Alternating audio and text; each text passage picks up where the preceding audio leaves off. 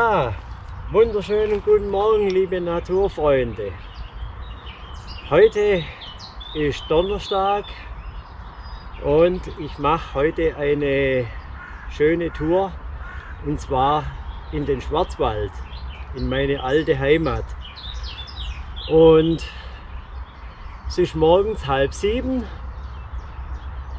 der Tag erwacht, wunderbar. Ich hoffe, das Wetter hält, sie bringen relativ gut. Und ich habe mir gedacht, ich mache jetzt mal eine größere Tour, die war schon länger geplant. Ja, und die nehmen wir jetzt in Angriff.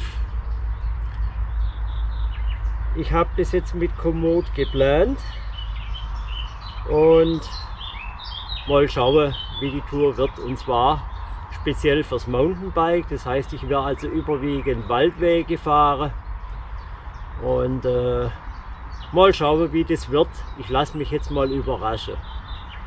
Ja, wenn es euch interessiert, dann seid gerne dabei.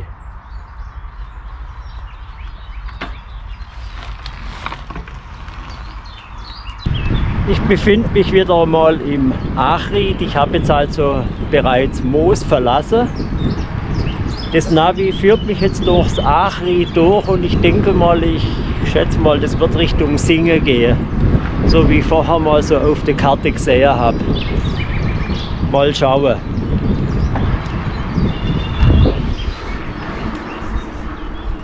Hier wieder ein Blick ins Ried. Das kennt ihr ja schon.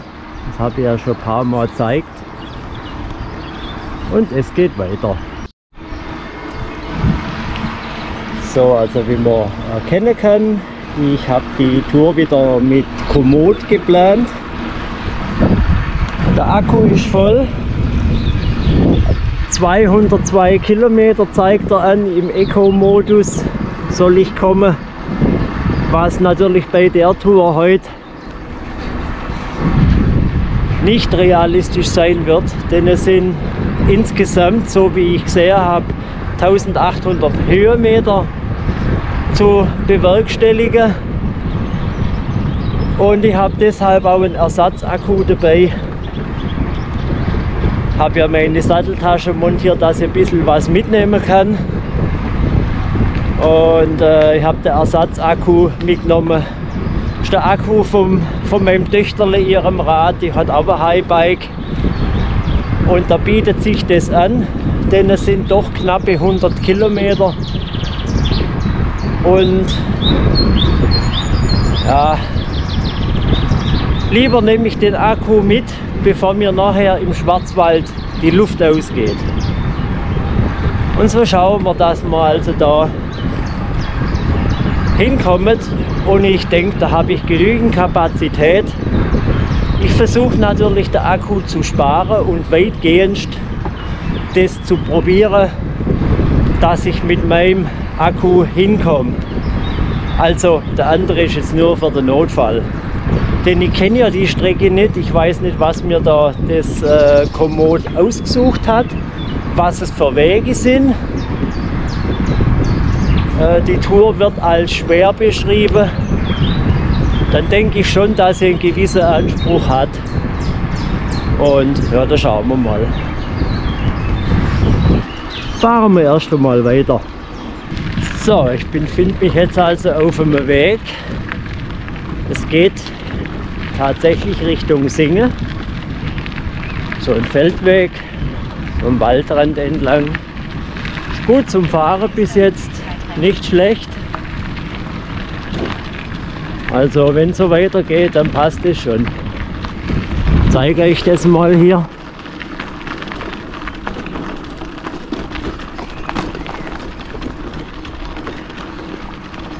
So. Mit dem MTB gut zum Fahren.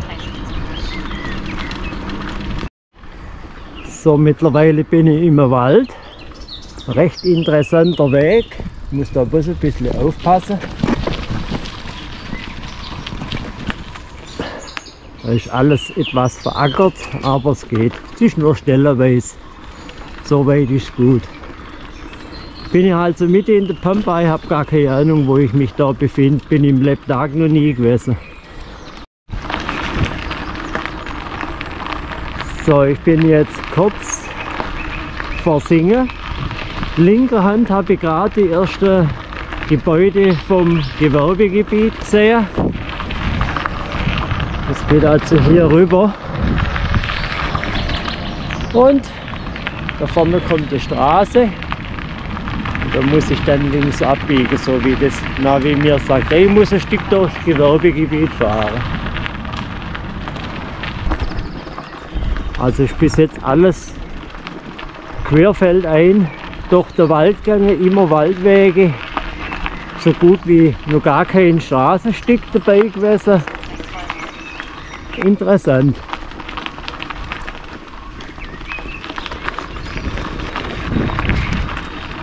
So, muss ich mich glaube hier rechts halten, so wie es aussieht. Jawohl. Scheint so überall schöne Waldwege. Mir sind auch schon einige Mountainbiker begegnet. Also scheinen doch die, wo da im näheren Umkreis wohnen, doch die Strecke zu befahren. Schön, wenn man keine Straße fahren muss, das ist toll. Wunderbar. Ich bin jetzt da gerade am Frostteich vorbeigefahren. Ihr müsst euch das mal anhören, wie die quaken. Das ist doch Wahnsinn, oder? Das muss da hinter dem Gebüsch sein. Das ist ja abartig.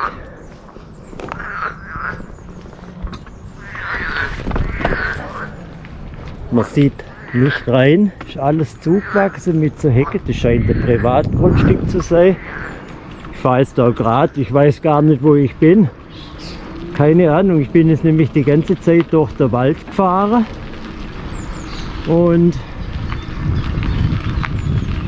die Häuser, ich weiß nicht, was das für eine Ortschaft ist, keine Ahnung. Muss nachher erst einmal gucken. Ich weiß nicht, wo das wo ich mich derzeit befinde. Lass mich mal überraschen. Gehört es nicht zu singen oder? Aber normal müsste ich da schon lang dran vorbei sein. Ja, also ungefähr weiß ich jetzt, wo ich bin. Ich habe da vorne, da vorne kann man der Hohe Krähe sehen.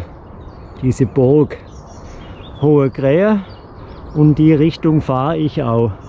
Also ich bin jetzt an Singen vorbei. Das da vorne dürfte Beuren sein, was man da sieht. Rein theoretisch. Oder Mühlhausen. Das könnte auch Mühlhausen ist, glaube ich. Genau. Und die Richtung fahre ich jetzt. Ja, man verliert da wenig die Orientierung, wenn man die ganze Zeit durch den Wald fährt. Da weiß man wirklich nicht mehr, wo man ist. Das äh, ist eine Mountainbike-Tour. Das führt mich jetzt komplett immer durch Wiesen, Wälder. Also kaum äh, mal durch eine Ortschaft durch. Und ja, bin ich mal gespannt. Ist mal was ganz anderes. Fahren wir weiter. Ich fahre jetzt da gerade durch so eine Kleingartenanlage. Das ist ja echt witzig, wo man da überall rumkommt. Da darf man ja im Leben sonst nie herkommen. Wahnsinn. Interessant aber, wirklich interessant. Das ist wie so eine Gartenkolonie hier. Jetzt geht's praktisch, ja, geht's jetzt hier weiter. Stimmt es? Oder stimmt's nicht?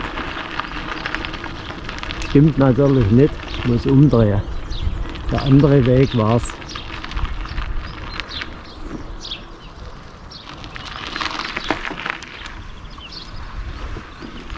Ja, auch das gehört dazu. Man muss hier bei diesem Weg ganz schön aufpassen. Da verfährt man sich leicht, weil man kann auf dem Navi wegen schlecht diese Abzweigungen erkennen. Manchmal sind die irgendwie gar nicht eingezeichnet. Aber jetzt bin ich wieder richtig. So passt. So, ich bin jetzt wieder auf einem schönen Weg. Und vor mir seht ihr der hohe Krähe. Und das hier müsste, glaube ich, schon in dem Fall Mühlhausen sein. Schön.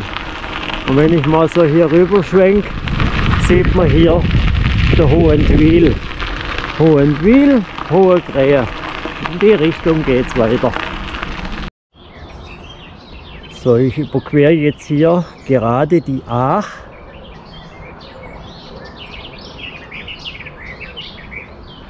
Wunderschön. Und hier geht es praktisch weiter. Und wenn ich jetzt hier mal ein Stück vorgehe, dann kommen wir, jetzt weiß ich auch wieder, wo ich bin. Ich bin hier nämlich schon mal gefahren. Hier ist der Achtalradweg.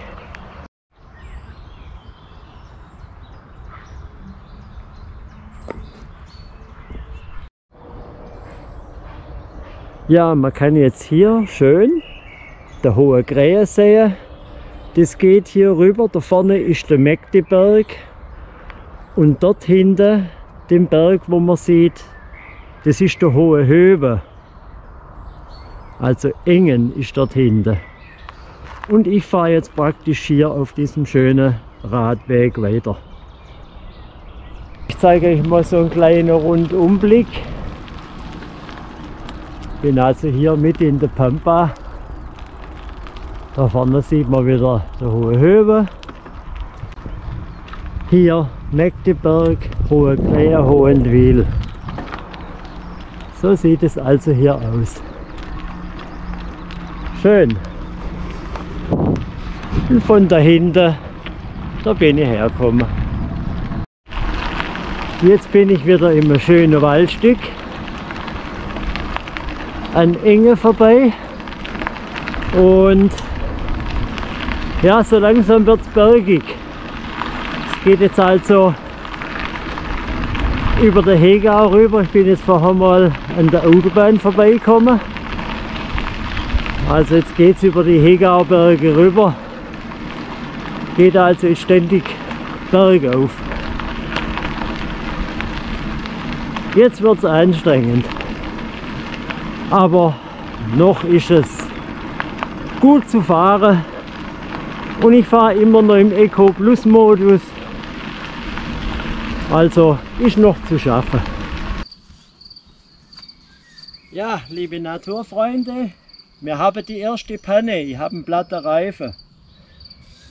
Das Glück im Unglück ist, es ist der vordere. Der hintere wäre wesentlich beschissener zum Rausmachen. Ja, jetzt habe ich natürlich das Problem, ich finde da auch nirgends ein Loch. Ich habe den Reifen kontrolliert, nirgends ein Nagel drin. Ich bin jetzt kurz vor Bittelbrunn, das ist jetzt Mitte in der Pampa passiert, aber zum Glück bin ich noch bis daher gekommen. Da fängt das das kleine Ortschäftle an und da laufe ich jetzt mal rein. Ich sollte nämlich zum das Kontrollieren Wasser haben, damit ich sehe, ob da überhaupt ein Loch ist oder ob es vom Schotter kommt. Ich habe keine Ahnung. Ich habe jetzt den Vorderreifen raus, das vordere Rad rausgebaut. Ich nehme das ganze Ding jetzt mit. Das Problem, das nächste, ich habe ein Flickzeug dabei, aber ich habe die Pumpe vergessen. Das ist natürlich so blöd, aber irgendeiner in so einem Ortschäftli wird eine Pumpe haben. Also das kriegen wir hin. Man muss ja erst warten, bis er ein bisschen mhm. Nur, nur ich, ich war gerade, achso. Ich bin jetzt hier in Bittelbrunn und ich habe da ganz nette Leute gefunden, die äh, mir jetzt da helfen, den, das Rad wieder in Ordnung zu bringen. Der nette Herr tut gerade meinen Schlauch fliegen. Echt super toll, also das ist ja einmalig.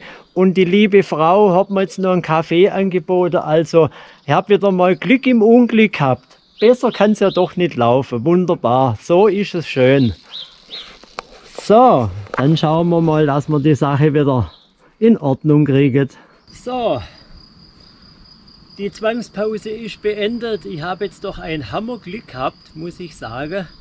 Bin bei den sehr netten Leuten gelandet, die haben mir jetzt, der Mann hat mir jetzt den Reifen wieder in Ordnung gebracht. Ich habe noch einen Kaffee getrunken und habe noch eine nette Unterhaltung geführt mit dem Mann und der Frau.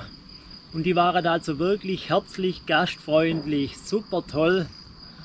Das war also wirklich ein sensationelles Glück im Unglück, kann man so sagen. Ja, mein Rad ist wieder einsatzbereit und jetzt geht's weiter. Also ich bin jetzt immer noch in Bittelbrunn an dem Platz und es wird Zeit, dass ich jetzt mal weitermache. Jetzt habe ich lang genug Zeit, hier verbraucht. Und jetzt muss ich gucken, dass ich mal ein paar Kilometer mache, dass ich heute noch in den Schwarzwald komme. Packen wir es an.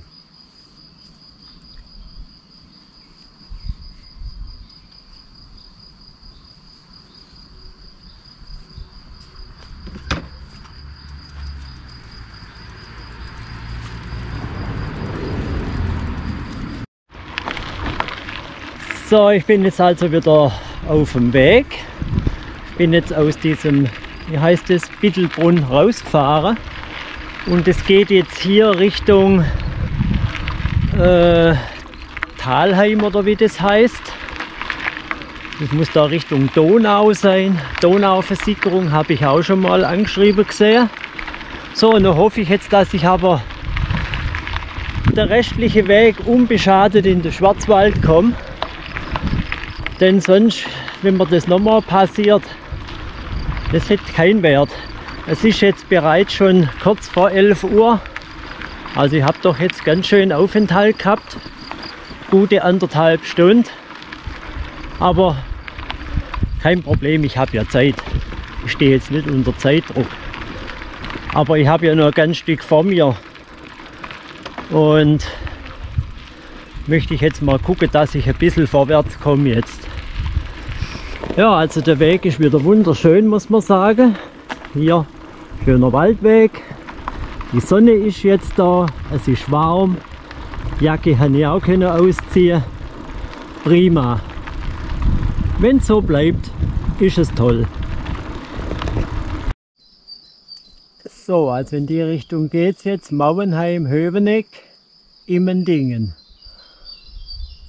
Die Richtung fahren wir jetzt. Und von hier bin ich gekommen. Und hier geradeaus geht es jetzt weiter, wieder in den Wald.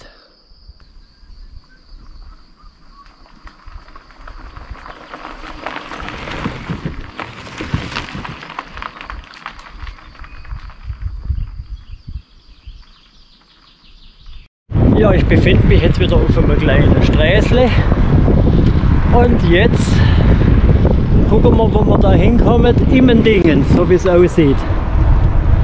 Schild ist verschmiert, da haben sie drauf rumgemalt. Immendingen, Landkreis Tuttlingen bin ich jetzt. Ja, vor mir ist die Donau, die überquere ich jetzt gerade auf dieser wunderschönen Holzbrücke. Hier kommt sie her.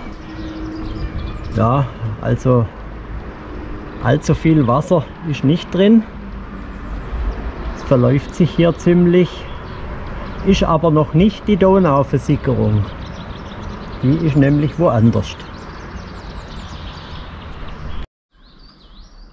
Ja, bevor wir jetzt also Immendingen verlassen, hier noch einmal ein kurzer Ausblick über das Städtle irgendwo von dahinter bin ich hergekommen.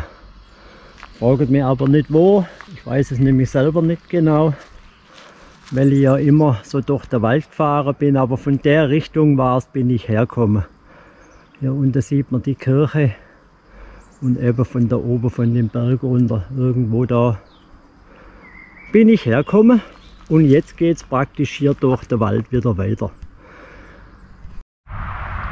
Ich befinde mich jetzt äh, bei Talheim heißt es.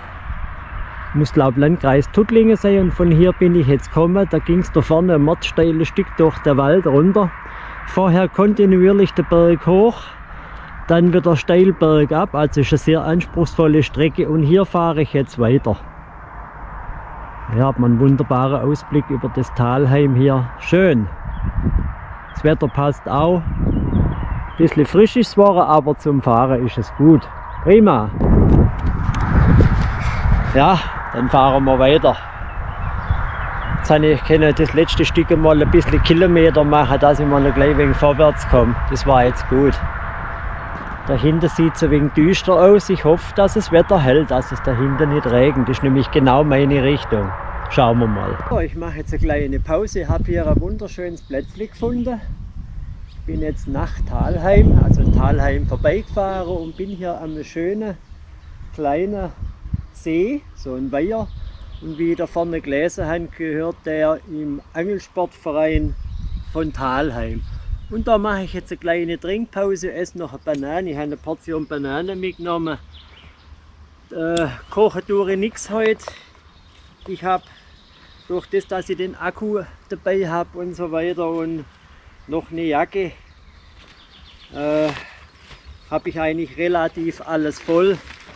Und ich kann heute oben daheim bei meinem Papa essen. Und so Bananen sind ein guter Energielieferant und das passt schon. Das hält mich aus. Und ich habe ja äh, vorher eine schöne Pause gehabt mit Kaffee und Kekse hat es gegeben und das ist gut. Jetzt setze ich mich erst einmal hier hin und genieße den See.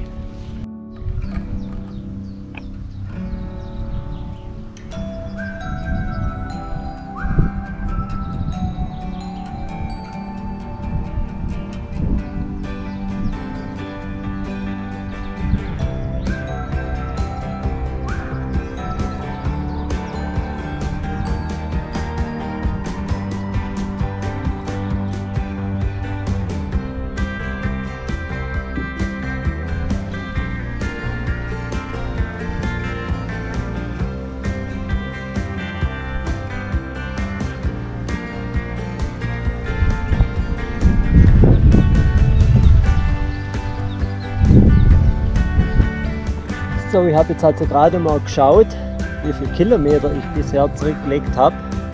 Sind jetzt genau 54 Kilometer, die ich habe. Das heißt, ich bin jetzt knapp über der Halbzeit. Ich denke mal noch, müsste etwa noch so 45 Kilometer glaube oder 40, ich weiß es nicht mehr genau. Es sind also knappe 100 Kilometer insgesamt und ja, mal schauen es zum Schluss aussieht. Ja, ich bin frisch gestärkt. Drei Bananen im Gepäck leichter, dafür drei Bananen Körpergewicht schwerer. Und jetzt mache ich mich wieder vom Acker und gucke, dass ich weiterkomme. So, jetzt komme ich da gerade an so einem Tümpel vorbei und sehe, hier hat es Büffel, so Wasserbüffel. Oder was das sind. Irgend sowas. Zwei Junge dabei. Schön. Guckt ganz neugierig. Das muss irgendwie so ein Naturschutz-Dings hier sein. Schön. Also hier im Hintergrund seht ihr nochmal diese Büffel. Da hat es auch Bänke, kann man schön hinsitzen. Nett. Ja, und jetzt gucken wir aber, dass wir wieder vorwärts kommen. Wir haben ja noch ein paar Kilometer vor uns. Packen wir es an.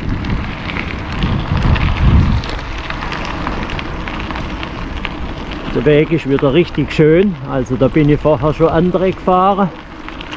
Aber da lässt sich wieder richtig gemütlich fahren.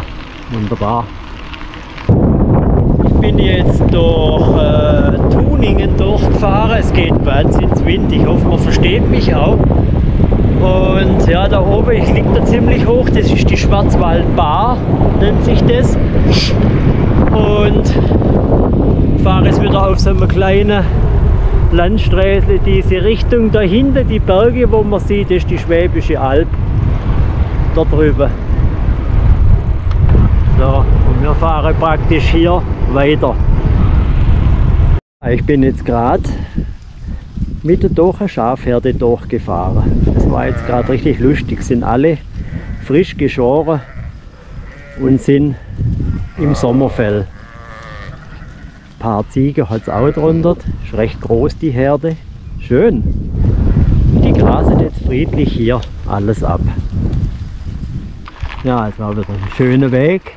Ganz schmal, aber richtig schön zum Fahren irgendwie so ein kleiner Bach. Jetzt geht es hier über eine Brücke. Achtung! Wups! Oh, hier ist nass. Da geht es durch einen kleinen Bach durch. So, geschafft. Schön. Und hier geht es weiter.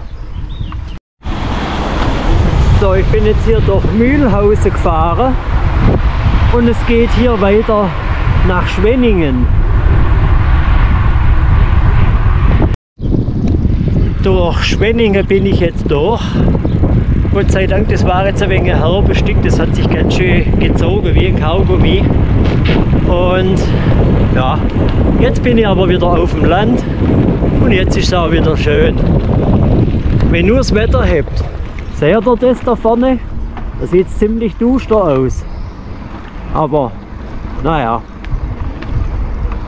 wird schon werden. Ja, also auch so können die Wege aussehen.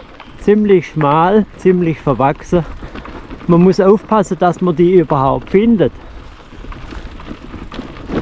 Aber schön. Und die graue Wolke liegt linker Hand. Bis jetzt, zum Glück. Ich muss da ein bisschen langsam machen, mit einer Hand filmen und auf den Weg, die man, wo man nicht richtig so erkennen kann, was da rumliegt, muss man ein bisschen vorsichtig sein.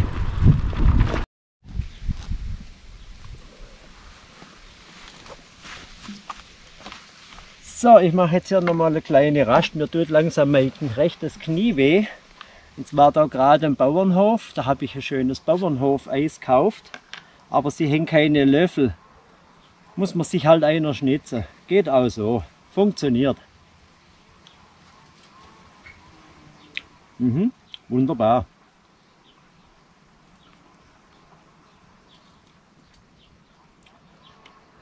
So funktioniert es. Und das ist halt die Hauptsache. Das ist ein recht großer Becher. Hm? Aber kann ich brauchen. Und ich liege gut in der Zeit, habe nichts zum Verreisen, das passt. Ja, das Eis ist gegessen. Ich habe es fast nicht geschafft. Das war ein riesen Becher, ein halber Liter. Boah, brutal, aber gut. Und ja, so langsam rückt die Heimat näher. Ich befinde mich heute Mitte im Schwarzwald. Äh, ich bin jetzt 76,8 Kilometer gefahren. Das heißt, das Ziel ist jetzt nahe. Und jetzt gucken wir, dass wir den Rest noch voll hinkriegen.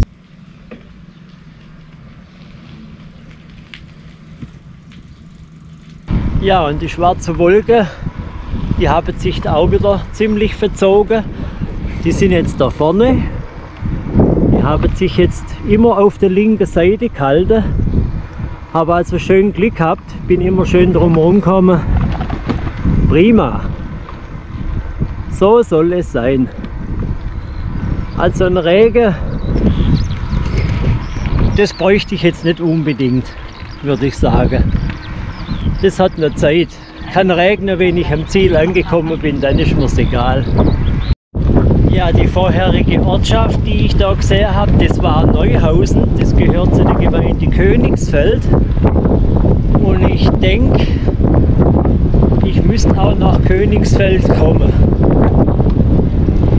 Rein theoretisch, so wie ich das gesehen habe, fahre ich über Königsfeld und dann bin ich ja schon bald daheim. In meiner alten Heimat.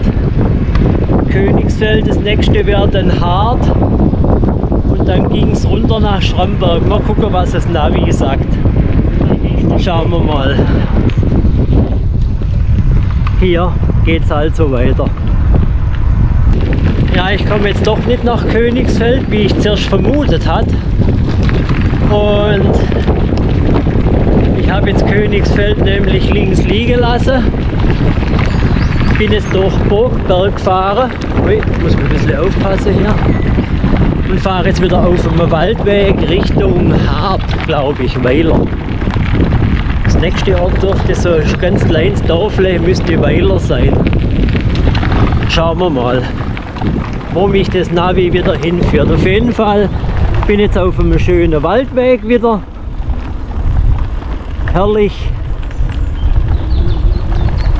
Und fast kein Mensch unterwegs, also man trifft ganz selten jemand. Das ist das Schöne, wenn man natürlich auch unter der Woche sowas machen kann. Schön. Ja, ich bin hier mitten im Wald. Hier geht der Weg durch. Traumhaft schön, das ist eine richtig tolle Stille. Jetzt ist richtig im Herzen des Schwarzwalds. So sind die Wälder.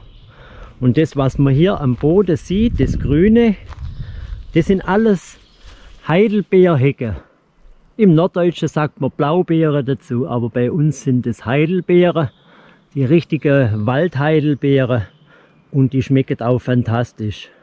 Also kein Vergleich mit den gekauften, die man heute hat. Ja, und so sehen die aus. Bin mal gespannt, ob es dieses Jahr welche gibt. Letztes Jahr hat es ein wenig mau ausgesehen, aber ihr seht, alles ist grün. Das sind alles Heidelbeere, die man hier sieht, im ganzen Ring rum. Hier bin ich jetzt hergekommen und auch hier auf dieser Seite alles voll mit Heidelbeerhecke. Schön. Ja, jetzt bin ich ein paar Meter weiter und dahinter sieht man noch die Heidelbeersträucher und da hört es jetzt auf. Und da haben wir jetzt dafür einen wunderschönen Moosteppich, der den ganzen Waldboden hier bedeckt. Schön. Wunderbar. Das ist doch eine Natur hier.